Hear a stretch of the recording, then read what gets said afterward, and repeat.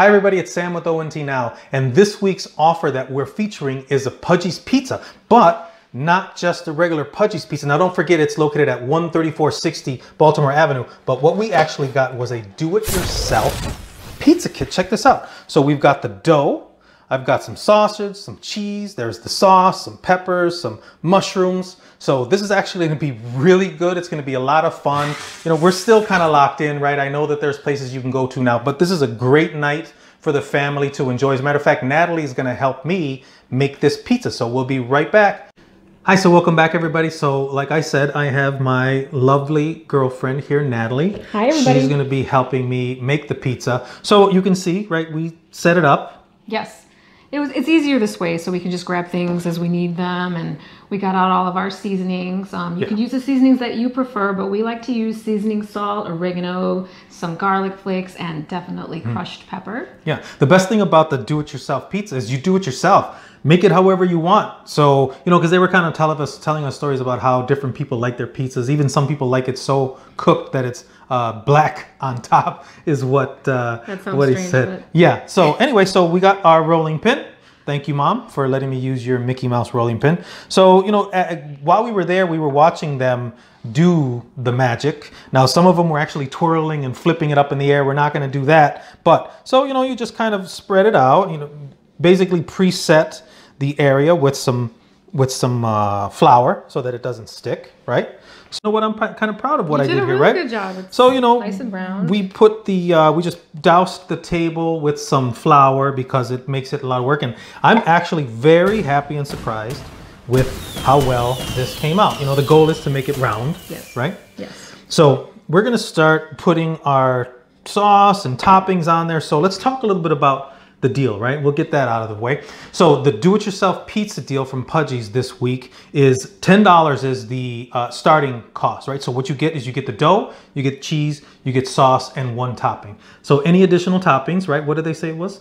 Uh, $2. So two dollars in additional topping. So feel free to order as many as you want, or you know what? If you have a particular topping that you want to put on your own pizza, that's the magic. The best thing about having a do-it-yourself pizza, you can do it yourself. Put whatever crazy toppings you want on there, whatever you want to do, right, Nat? Mm-hmm. Ready to start putting our toppings on. And if you would like to see how the professionals actually make the pizza, roll the dough out, we took some images of those. So we're gonna put some of those up while we're decorating our pizza. So we've got sausage, we've got pepperoni, we've got mushrooms, and we have peppers. So let's just start putting some sauce on here. Right now, what I've seen, Nat, I've actually seen this. So Yes, you put it right in the center. yeah, so you may not have known this, but uh, uh, when I first moved to Las Vegas, um, first job I took because I didn't really know what I was going to do, uh, I took a job at a delivery place. A pizza delivery place? Yeah, pizza delivery. I used to make pizzas, not for the place, but they used to let us make our own pizzas if we wanted to. So Yeah, my when I was a kid, my mom worked at a pizza joint, and we used to go there and spend entire days at the place, and we used to make our own little pizzas too. So this smell, this dough, this sauce, it, it smells like childhood for me. Yeah. Now I actually watched them applying the sauce in the store. They they used like a stick or oh. something. Kind of spread it out. You know, this I don't know if this is working, but whatever. It's our pizza. It can be however we want it to be. So we're going ahead and putting the sauce down.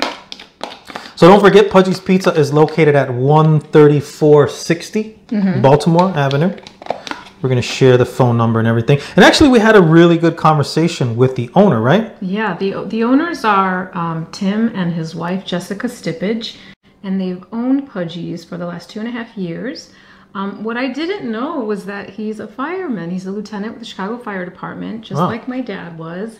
And uh, he had worked in hotel and restaurant management for about eight years or so before he became a firefighter. So he has a lot of experience working in this field. And uh, hope you're dropping something there.